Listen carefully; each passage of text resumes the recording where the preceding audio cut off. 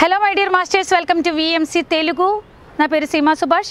ఇవాళ బ్రహ్మర్షి ప్రేమనాథ్ యొక్క ధ్యాన జ్ఞాన సందేశాల్లో మరొక ప్రశ్న. ఏంటంటే చాలామందికి డౌట్ ఉంది. పీరియడ్స్ టైంలో ధ్యానం చేయొచ్చా? గర్భిణీలు ధ్యానం చేయొచ్చా? తర్వాత ఎవరైనా మనకి కావలసిన వాళ్ళు చనిపోయే ఆ సమయంలో ధ్యానం చేయొచ్చా? అంటే మరణించారు వాళ్ళు మరణించారండి అందుకు కొన్ని వాళ్ళు చెయ్యాలా వద్దా? ఇంట్లో పూజ చేయకూడదు లేకపోతే దీపం పెట్టకూడదు అని కొన్ని ఉంటాయి. సో అందుకే ధ్యానం కూడా మానేయాలండి ఆ టైంలో? లేదా అప్పుడు కూడా ధ్యానం చేయొచ్చా? మనకి కావలసిన వాళ్ళు చనిపోయినా అయినా కూడా ధ్యానం చేయొచ్చా అని అడుగుతూ ఉంటారు.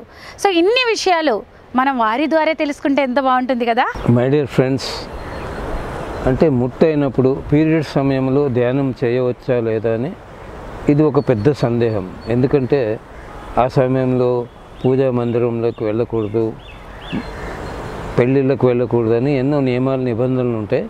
కానీ ధ్యానానికి అటువంటి నియమం ఏం లేదు. ఇంకా అటువంటి సమయంలో ధ్యానం చేస్తే అధికమైనటువంటి శక్తి పొందిన వాళ్ళు అవుతారు. ఆ మూడు రోజులు దైవశక్తి ప్రవేశిస్తుంటుంది స్త్రీలలో. ఆ మూడు రోజులు మౌనంగా ఉంటూ పళ్ళు ద్రవ పదార్థాలు తీసుకుంటూ ఎక్కువ ధ్యానం చేస్తే ఒక సంవత్సర కాలం ధ్యానం చేస్తే పొందే ఫలితాన్ని పొందుతారు. అది వరం కానీ ధ్యానం చేయడానికి ఏమీ నియమము కాదు అది. అందుకే అద్భుతం. ఆ సమయంలో ఇంకా ధ్యానం బాగా చేయవచ్చు ఎక్కువ సమయం చేయవచ్చు. ఇంకా రెండవది ఎవరైనా మరణించుంటారు. అక్కడికి మనం వెళ్ళి చేయవచ్చా లేదా? అంటే అక్కడే చేయాలి. ఎందుకంటే ఆ ఆత్మ అక్కడ ఆగి ఉంటే మనం చేసే ధ్యానం ద్వారా ఆత్మకు ముక్తి కలుగుతుంది. ఆత్మ జ్ఞానోదయమై అది ఉన్నత లోకాలకు వెళ్ళిపోతుంది. అంటే ముట్టైనప్పుడు ధ్యానం చేయవచ్చు. ఎవరైనా మరణించినప్పుడు ధ్యానం చేయవచ్చు. ఇక అటువంటి ఈ నియమాలు ఏమి నిబంధనలు లేనిదే ధ్యానం. సరి ఇంకా ధ్యా- ధ్యానం చేయాల్సిన సరి అయిన సమయం అది. ఎందుకంటే ఆత్మ అక్కడ ఆగి ఉంటుంది మరణించినప్పుడు. ఆ సమయంలో మనం ధ్యానం చేయడం ద్వారా ఆత్మ ముక్తి పొందుతుంది. దానికి తెలుస్తుంది ఓ ఇలా ధ్యానం చేసి ఈ భూలోకాన్ని వదిలి ఉన్నత లోకానికి వెళ్ళవచ్చు అని తప్పకుండా చేయాలి. మా నాన్నగారు మరణించినప్పుడు నేను ఆయన దేహం దగ్గర మూడు గంటలు కూర్చొని ధ్యానం చేశాను. మా అమ్మమ్మ గారు దేహం వదిలినప్పుడు కూడా నేను చేశాను. కనుక ఆ సమయంలో చేయవాలా చేయకూడదా అని తప్పకుండా చేయాలి చాలా అవసరము అద్భుతం కూడా. గర్భిణీ స్త్రీలు ధ్యానం చేయవచ్చా అని ఇది ఒక సందేహం కూడా ఉంది. ముఖ్యంగా గర్భిణీ స్త్రీలు ధ్యానం తప్పకుండా చేయాలి. ఎంత ఎక్కువ చేస్తే అంత మంచిదే. ఎందుకంటే లోపల ఆ శిశువుకు అద్భుతమైనటువంటి శక్తి జ్ఞానం అందుతుంది. మనందరికీ తెలుసు అభిమన్యుడి కథ.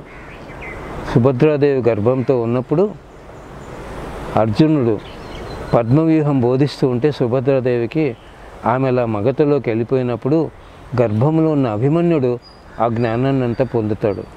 అలాగే ప్రహ్లాదుడు తల్లి గర్భంలో ఉన్నప్పుడు నారదుడు బోధించిన జ్ఞానం ద్వారా అంత గొప్ప మహానుభావుడైనాడు ప్రహ్లాదుడు. కనుక గర్భవతులు తప్పకుండా ధ్యానం చేయాలి. అది కూడా ఎంత ఎక్కువ ధ్యానం చేస్తే అంత మంచిది? మనది సుఖాసనం. వారికి ఎలా కావాలో అలా అనుకూలంగా ఒక ఈజీ చైర్లో కూర్చొని అలా స్లాంట్గా కూర్చొని అనుకూలంగా ధ్యానం చేయొచ్చు. దానివల్ల ఏమవుతుందంటే సులభంగా ఏ సర్జరీ లేకుండా ధ్యానం ఒక డెలివరీ అనేది కూడా జరుగుతుంది. నేను ఆదంలో ఉన్నప్పుడు ఇద్దరు అమ్మాయిలకు నేను అలాగే నేర్పించాను. ఇలా హాస్పిటల్లోకి వెళ్ళి అరగంటలో డెలివరీ అయి బయటకు వచ్చారు. సుఖంగా ఏ బాధ లేకుండా సర్జరీ లేకుండా ధ్యానం చేస్తారు. ముఖ్యంగా తల్లి గర్భంలో శిశువు ఉన్నప్పుడు మనం ఏ స్థితిలో ఉంటామో ఆ గుణాలు అవన్నీ ఆ గర్భంలో శిశువుకి అందుతూ ఉంటాయి. ఆ గుణాలతో పుడతాడు. అందుకే ధ్యానం చేయడం వల్ల ఆ సమయంలో మనసు సున్నిగా ఉంటుంది.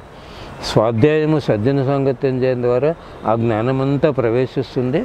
గొప్ప మాస్టరు ఈ భూలోకంలో జన్మ తీసుకోవడం జరుగుతుంది. కనుక ఎవరైనా మరణించిన సమయంలో లేదా పీరియడ్ సమయంలో గర్భిణీగా ఉన్నా ఇవన్నీ కూడా తప్పకుండా అప్పుడు ఇంకా ఎక్కువ ధ్యానం చేయాల్సిన సమయమే కానీ మానేయాల్సినటువంటి సమయం కాదండి. Thank you.